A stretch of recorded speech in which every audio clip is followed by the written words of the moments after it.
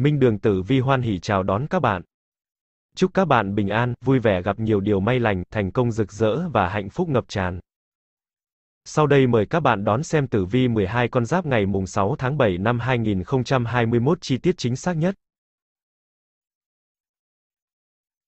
Tử vi tuổi Tý Xem tử vi thứ ba này, người tuổi Tý phải đối diện với không ít trắc trở do chịu ảnh hưởng của cục diện Tý Mão tương hình. Cũng bởi tính cách cao ngạo nói năng chẳng kiêng nể ai mà con giáp này gây ra không ít mâu thuẫn thị phi trong cả công việc lẫn đời sống. May mắn có thực thần ở bên trợ giúp bản mệnh nhanh chóng nhìn ra được những cơ hội phát tài phát lộc hiếm có. Những người làm ăn kinh doanh có thể nhân cơ hội này mở rộng và phát triển đầu tư thu lợi nhuận. Ngũ hành thủy mộc tương sinh báo hiệu vận đào hoa của con giáp này khởi sắc mạnh mẽ. Người độc thân được người thân bạn bè giới thiệu làm quen với một vài đối tượng phù hợp. Hãy mở cửa trái tim và đón nhận tình cảm của đối phương nhé. Tử vi tuổi giáp tý, thuộc mệnh kim. Mọi mong cầu về tình cảm không nên có tính cách lâu dài. Tài lộc tuy có nhưng dễ hao, hoặc chỉ được mời ăn uống, dự tiệc, có quà nhỏ. Đến nơi nào không nên ở lâu gặp sự phiền toái. Tử vi tuổi bính tý, thuộc mệnh thủy. Nên dè dặt trong mọi chuyện có liên quan đến vấn đề tình cảm, hẹn ước, giao thiệp. Hoặc giải quyết vấn đề theo tình cảm ở lúc trước nay gặp chuyện phiền lòng. Mất uy tín, nói nhiều chỉ đưa đến sự thị phi rắc rối, tranh cãi. Tiền bạc có sự thiệt thòi không được như ý.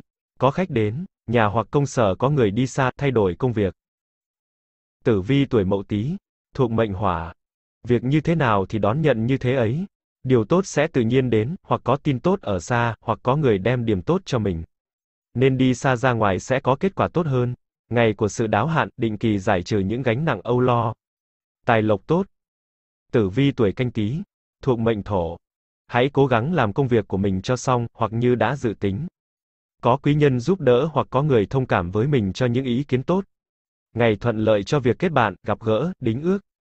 Có tin tức ở xa hoặc có cuộc đi ngắn về vui chơi, tình cảm, tiệc tùng, mua sắm, nhưng không nên ở lâu. Có tài lộc hoặc có lộc ăn nhưng cũng có sự hao tốn chút ít. Tử vi tuổi nhâm tý, thuộc mệnh mộc. Không nên tin vào sự dự tính của mình đã được định trước, rất dễ gặp sự sai hẹn, rời hẹn. Phải chủ tính cho mình thêm nhiều phương hướng khác vì sự việc sẽ đến hoàn toàn khác. Tuy nhiên không phải là điểm xấu. Ngày có nhiều sự hội ngộ, hội họp, bàn tán, đình đám, có tin xa. Nếu dự tính về đi xa hay di chuyển ngày này nên có sự tu bổ, chỉnh đốn, sửa chữa, mua sắm trước về phương tiện xe cộ, máy móc, đồ đạc. Tài lộc bình thường,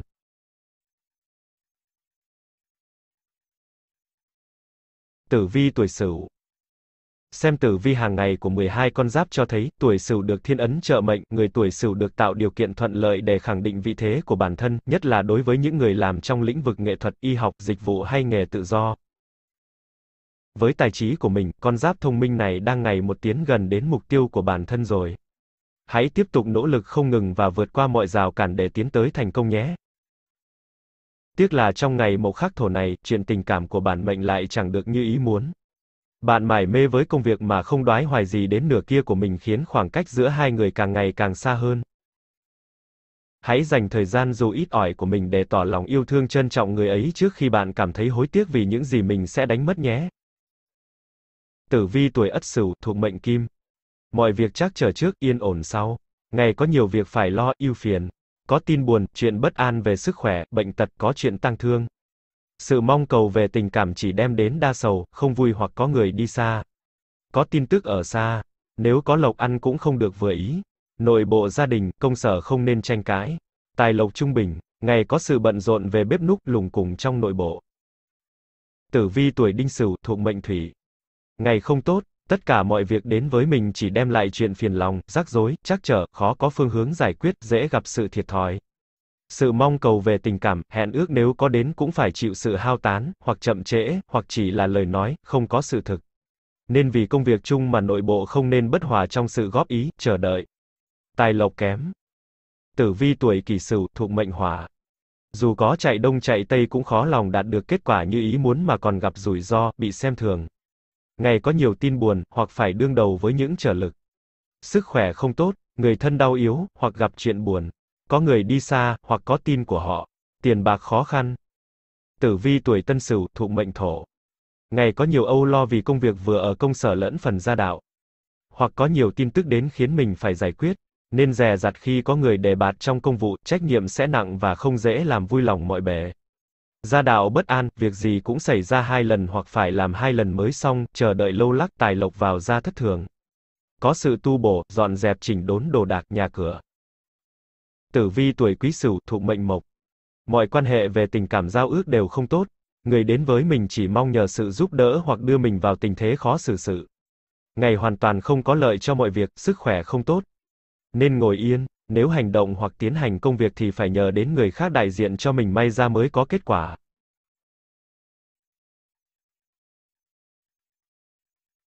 Tử vi tuổi dần Xem tử vi thứ ba của 12 con giáp chỉ ra rằng, người tuổi dần đón nhận không ít tin vui về công việc trong ngày có quý nhân tam hội ở bên tương trợ như hôm nay.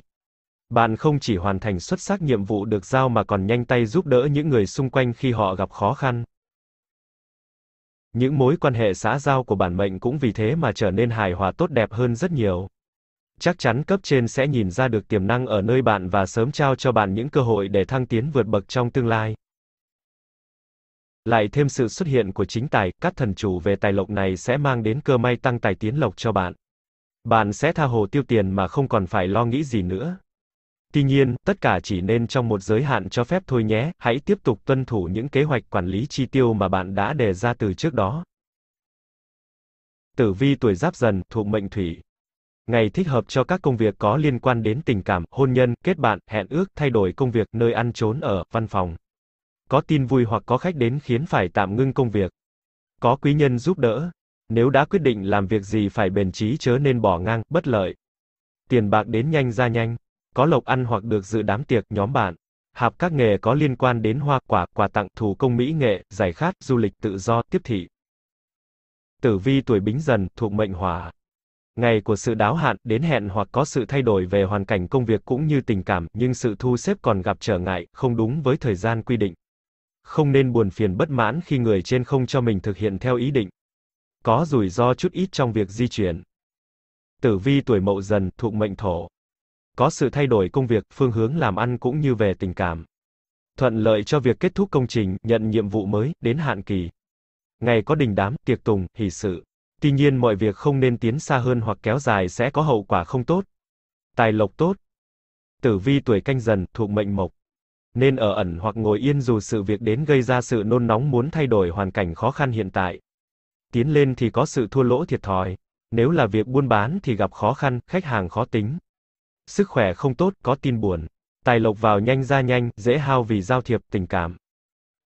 Tử vi tuổi nhâm dần, thuộc mệnh kim. Mọi việc xảy ra sẽ không được như ý mình mong muốn. Có nhiều sự rủi ro bất chắc, rời hẹn, sai hẹn. Không nên nóng nảy, hấp tấp quyết định mà lỡ thời cơ. Nên chờ đợi vào một dịp khác. Không mưu cầu chuyện lớn dễ bị gãy ngang hoặc gặp rủi ro, tai nạn. Công việc bị dở dang khó xoay trở. Sự mong cầu về tiền bạc còn chậm, dễ hao.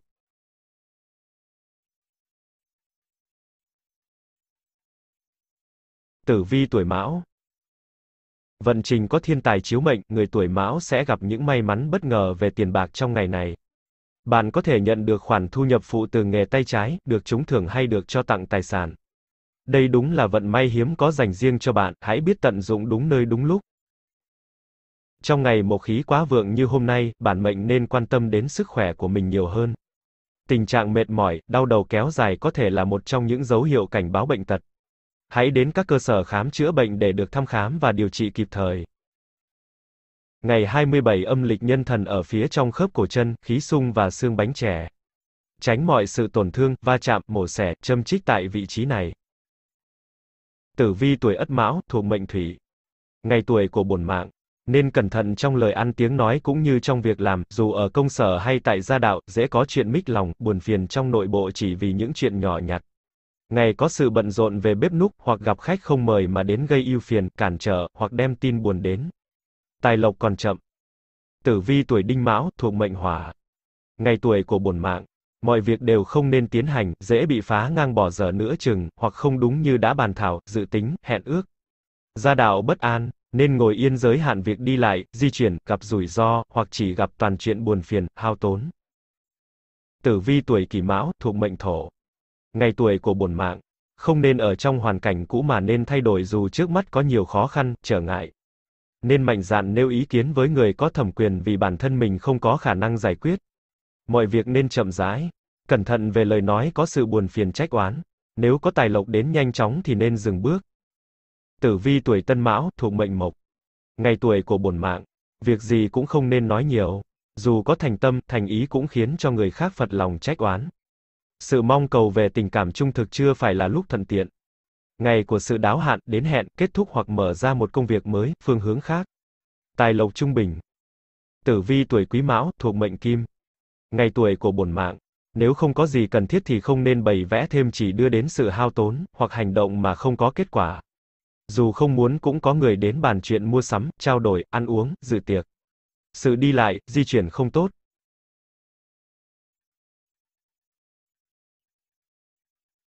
Tử vi tuổi thìn Xem tử vi cho thấy, cục diện mão thìn tương hội trợ vận cho người tuổi thìn có một ngày thứ ba thuận lợi và suôn sẻ khó ai bằng.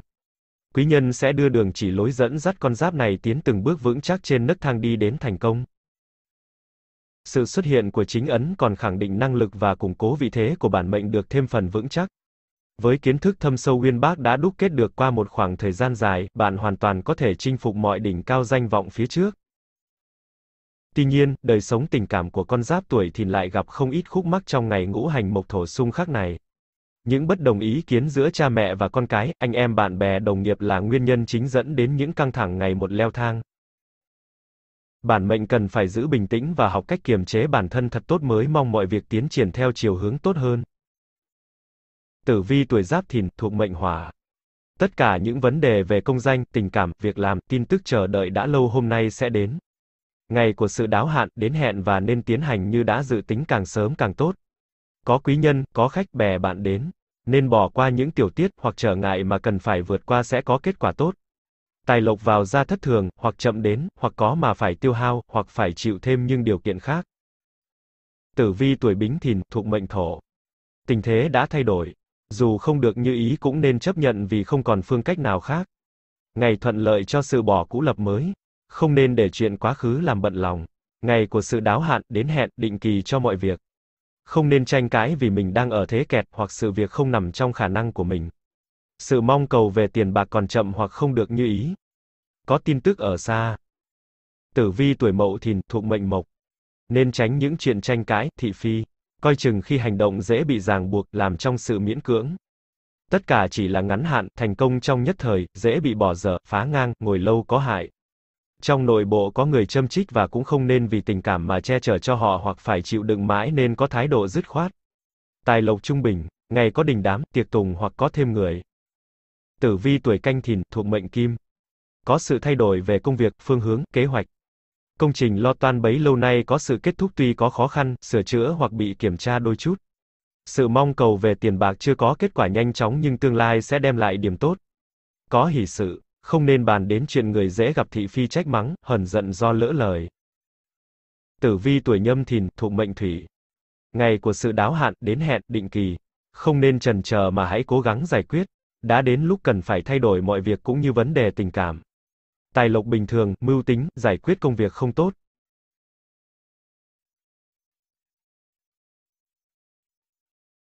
Tử vi tuổi Tỵ. Vận trình có chính quan trợ mệnh, người tuổi Tỵ thể hiện được những khía cạnh mới mẻ của bản thân, nhanh chóng ghi điểm trong mắt cấp trên và đồng nghiệp. Với khả năng của mình, bạn hoàn toàn có thể chinh phục bất cứ thử thách nào được đặt ra.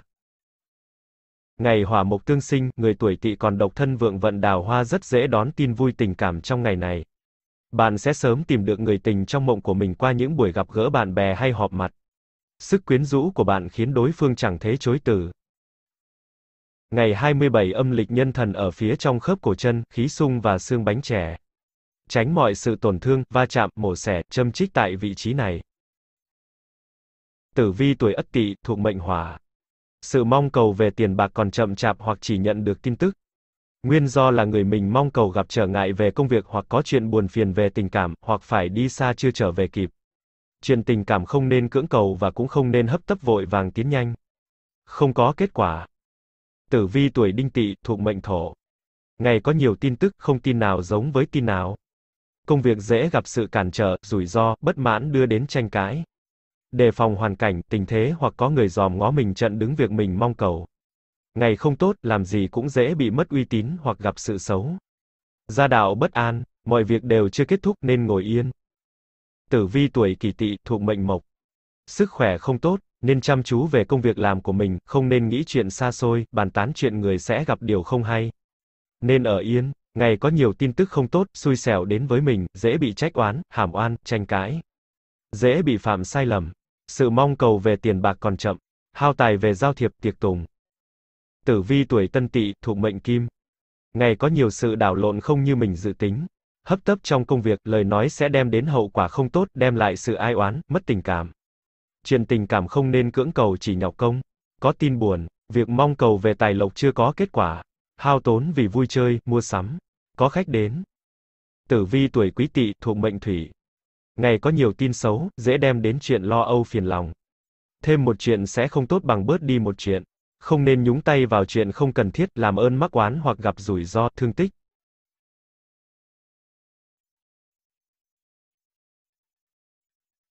Tử vi tuổi ngọ. Cục diện mão ngọ tương phá có ảnh hưởng không mấy tích cực đến người tuổi ngọ trong ngày này. Những quan điểm trái ngược trong cách xử lý công việc là nguyên nhân khiến những mâu thuẫn trong tập thể trở nên căng thẳng hơn. Nếu không thể dẹp bỏ cái tôi và nhìn về mục tiêu chung thì e rằng đích đến thành công sẽ còn khá xa đó. Chẳng những thế, sự xuất hiện của thiên quan lại khiến tình hình trở nên khó khăn hơn. Hung thần nấp sau kẻ tiểu nhân đem lời công kích mà gây tổn hại không ít đến bạn. Bản mệnh cần phải thật cẩn trọng trong từng lời nói, hành động trong thời điểm nhạy cảm này.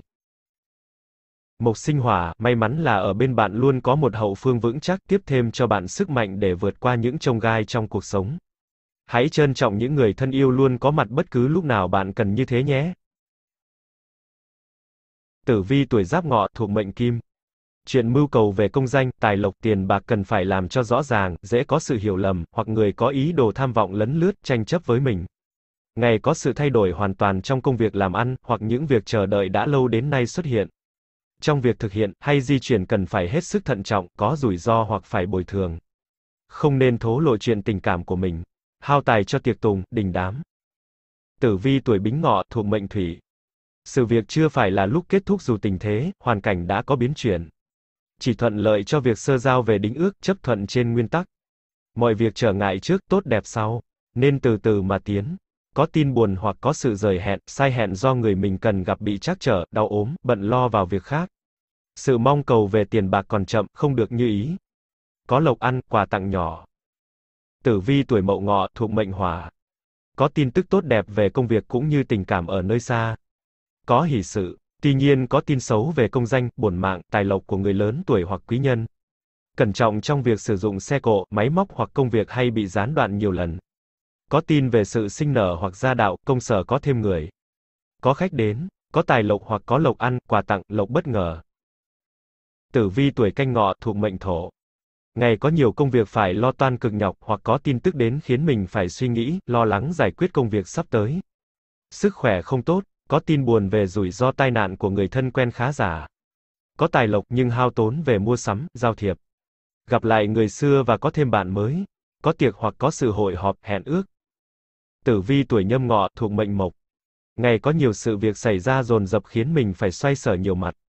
Không nên tính toán cao vọng chỉ đem đến sự buồn phiền thất bại mà còn mất uy thế của mình. Ngày có nhiều thị phi, tranh cãi, cản trở, khó khăn, mít lòng. Tiền vào thì ít ra thì nhiều, hoặc chờ đợi lâu lắc chỉ có tin. Cẩn trọng khi đi lại không có kết quả dễ gặp rủi ro.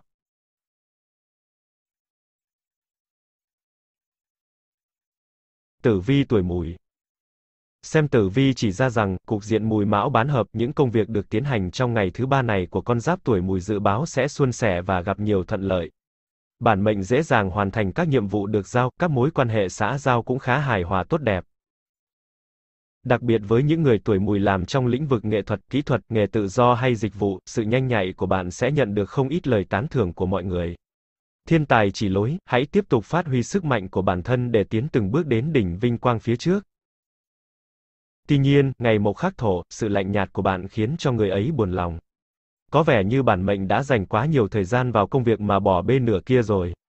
Chỉ cần bạn quan tâm hơn một chút thôi cũng có thể khiến cho đối phương ấm lòng hơn rồi đó. Tử vi tuổi Ất Mùi, thuộc mệnh Kim. Ngày có nhiều ưu phiền, lo âu chủ yếu về mặt quan hệ, giao thiệp. nên cởi mở, sức khỏe không tốt, gia đạo có chuyện buồn, sự mong cầu về tài lộc có sự trắc trở, hao tán trước rồi mới có. Tiền bạc có sự đáo hạn, định kỳ.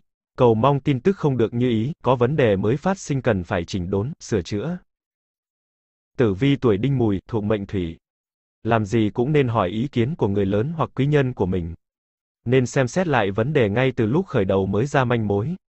Mọi sự mong cầu về tin tức đều chậm, nếu có đến thì cũng không tốt, tin buồn. Tài lộc dễ hao, mất mát, chỉ thuận lợi cho việc tu bổ, dọn dẹp, chữa bệnh, giải oan, thu vén mọi sự. Tử vi tuổi kỷ mùi, thuộc mệnh hỏa. Không nên dính đến chuyện của người khác, hoặc bàn ra tán vào dễ có sự hiểu lầm. Nếu có được hỏi ý kiến cũng phải có sự khéo léo vì sự việc còn liên quan đến nhiều người, hoặc chạm tự ái. Nên tu bổ, chỉnh đốn lại những việc cũ. Thêm một chuyện sẽ không tốt bằng bớt đi một chuyện. Tâm tình bất an, gia đạo có người đau ốm, buồn phiền. Ngày có sự thay đổi bất ngờ ngoài dự tính. Tử vi tuổi tân mùi, thuộc mệnh thổ. Không nên níu kéo khi sự việc hoặc chuyện tình cảm đã đến hồi kết thúc thay đổi. Sự việc tùy thuộc vào người bạn của mình để tránh sự phiền lòng trách oán. Nhà có đình đám, tiệc tùng hoặc có cuộc hẹn và có nhiều người đến hoặc nhận được nhiều tin tức của họ. Sức khỏe không tốt. Tử vi tuổi quý mùi, thuộc mệnh mộc. Nên cẩn trọng trong mọi hành động cũng như lời ăn tiếng nói dễ bị mất uy tín hoặc bị ràng buộc vào những chuyện không đâu. Ngày có nhiều âu lo, buồn phiền, có tin buồn, có người đến hoặc có tin đến làm cản trở công việc của mình. Hao tài về chữa bệnh, mua sắm, sửa chữa, tu bổ. Có tin xa hoặc có người đi xa, gặp lại người xưa. Tử vi tuổi thân Vận trình của người tuổi thân trong ngày này, do chịu ảnh hưởng của kiếp tài chiếu mệnh mà phải chịu thiệt thòi không hề nhỏ. Hành động liều lĩnh không suy tính kỹ càng của bản mệnh chính là nguyên nhân dẫn đến những sai lầm gây thất thoát tiền bạc lần này. Đây là bài học kinh nghiệm mà bạn cần khắc cốt ghi tâm. Các mối quan hệ tình cảm của con giáp này cũng chẳng được như ý trong ngày ngũ hành kim mộc xung khắc như hôm nay. Những bất đồng tranh cãi là điều khó tránh khỏi vì vậy hãy học cách giữ bình tĩnh, lắng nghe những tâm tư chia sẻ từ cả hai phía để có hướng xử lý vấn đề tốt nhất. Để công việc thêm phần thuận lợi, bản mệnh nên chọn giờ tốt và hướng tốt để xuất hành, cụ thể để gặp hỷ thần bạn nên đi về hướng Tây Bắc hoặc hướng tài thần là hướng Đông Nam. Tử vi tuổi giáp thân, thuộc mệnh thủy. Khi bắt tay vào việc chớ nên chán nản, hoặc trước cần cù mà sau biếng nhác, muốn bỏ ngang không tốt. Nên chụp lấy cơ hội dù có hao sức hoặc có sự hao tốn về tiền bạc nhưng sẽ có kết quả. Ngày có sự gặp gỡ bè bạn, quý nhân, có tin tốt đẹp về công danh, tình cảm của mình hoặc của người thân. Không nên tin cậy về lời hẹn ước, có sự sai lệch chút ít. Có tin tức ở xa, nên đối xử với mọi người một cách công bằng, bình đẳng, sự thiên lệch về một bên sẽ có sự phật lòng ngấm ngầm. Tử vi tuổi bính thân, thuộc mệnh hỏa. Không nên dính líu đến chuyện của người khác chỉ đem đến sự bất lợi hoặc làm ơn mắc oán. Có tin vui hoặc gặp bè bạn, có khách, có tài lộc hoặc có tin thuận lợi về việc mình mong cầu.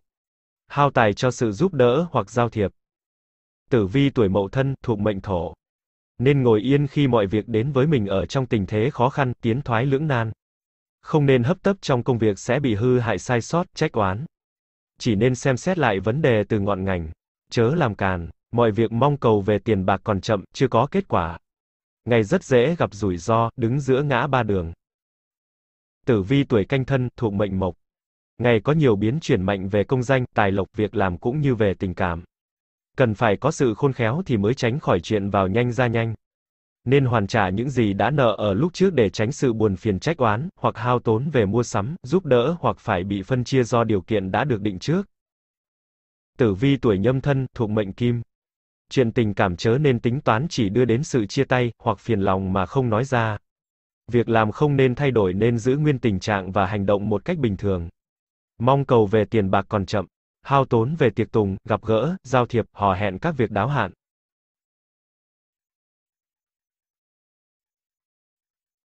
Tử vi tuổi dậu Tử vi hôm nay cho thấy, cục diện mão dậu tương xung, người tuổi dậu cần phải biết kiềm chế tính nóng nảy của mình.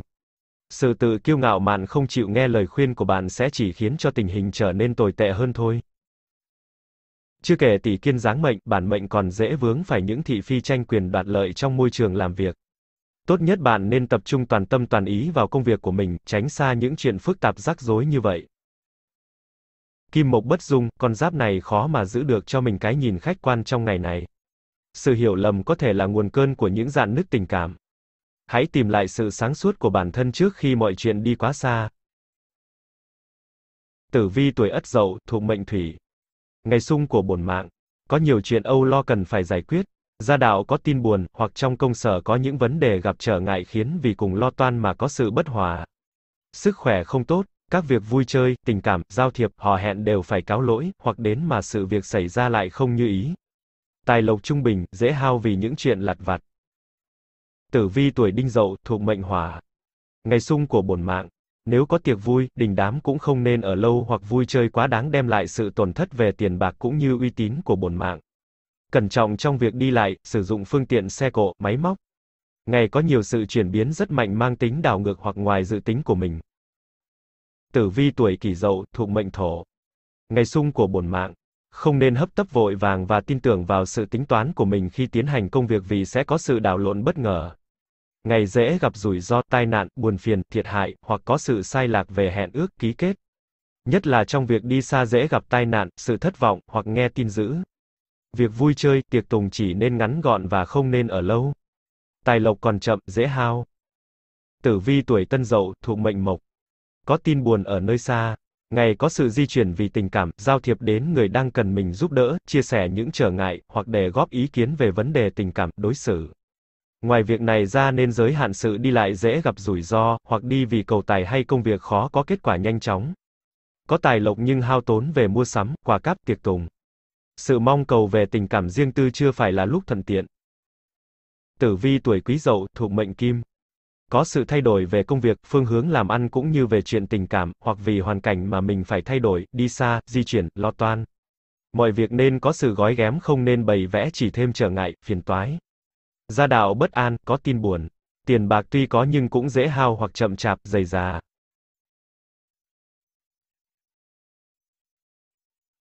Tử vi tuổi Tuất Người tuổi Tuất trong tử vi ngày thứ ba này đang có được báo hiệu, sẽ có một ngày khá thoải mái khi được sự ủng hộ nhiệt tình của cục diện Mão Tuất nhị hợp. Công việc suôn sẻ, kế hoạch hợp tác làm ăn cũng được triển khai đúng tiến độ, khả năng thu lợi nhuận cao trong tương lai. Có chính ấn ghé thăm, vị thế của con giáp tuổi tuất trong ngày này được củng cố thêm vững chắc. Năng lực của bạn là điều không thể chối cãi, lại thêm tính cách khiêm tốn, chẳng màng danh lợi nên bản mệnh dễ nhận được thiện cảm của những người xung quanh. Tuy nhiên mộc khắc thổ, mối quan hệ của bạn với các thành viên trong gia đình có dấu hiệu xấu đi. Nếu có thể hãy dành thêm thời gian để tất cả cùng ngồi lại và bày tỏ tâm tư của mình, thay vì sự xa cách như hiện tại. Gia đình chính là sức mạnh của bạn, hãy luôn nhớ điều đó nhé.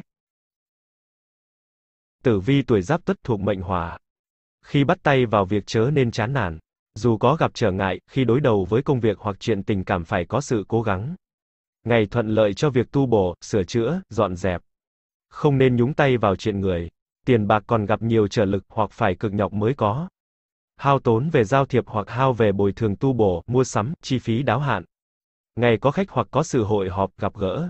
Có tin tức. Tử vi tuổi bính tuất thuộc mệnh thổ. Ngày không nên hành động hoặc mưu sự những việc lớn lao. Nếu có người đến đề nghị hoặc bàn thảo công việc cũng chớ nên tin vì sự thật không đúng như vậy. Chỉ có những tin đem lại sự bất lợi cho mình, hoặc sự khó khăn của những người khác mong muốn mình giúp đỡ. Không nên giải quyết theo tình cảm. Có tài lộc. Tử vi tuổi mậu tuất thuộc mệnh mộc. Ngày có rất nhiều sự việc xảy ra khiến mình phải đối phó trong sự khó khăn hoặc có nhiều tin tức không tốt đến dồn dập có liên quan đến công danh, tài lộc, bổn mạng của mình và thân nhân, bè bạn đề phòng rủi ro, tai nạn, bị ép uổng, chơi xấu, dính vào sự thị phi, tranh cãi, pháp luật. Việc làm cũ có vấn đề, có sự đáo hạn, định kỳ mà mình không thể giải quyết. Nên tìm gặp quý nhân hoặc dùng tình cảm để mong người giúp đỡ. Có tin xa. Tử vi tuổi canh tuất thuộc mệnh kim. Mọi việc nên cẩn trọng chớ nên để tình thế hoàn cảnh sai khiến mình, hoặc hấp tấp mà đạt được kết quả không như ý muốn. Mọi sự càng chậm càng tốt, Chuyện tình cảm không nên nói hết hoặc thật lòng dễ có sự thiệt thòi, hoặc hao tốn vì tiệc tùng vui chơi, mua sắm, tu bổ, sửa chữa. Tử vi tuổi nhâm tuất thuộc mệnh thủy. Chuyện vui hóa ra buồn. Việc tình cảm không nên đi quá giới hạn. Ngày có nhiều công việc cần phải toan tính, hoặc nhận nhiều tin tức khó khăn, rủi ro, tai nạn cần phải giải quyết. Tuy nhiên không nên nóng tánh, hấp tấp sẽ không có kết quả. Nên có sự rời hẹn, hòa hoãn. Tài lộc vào nhanh ra nhanh nhưng không phải là lộc bất ngờ.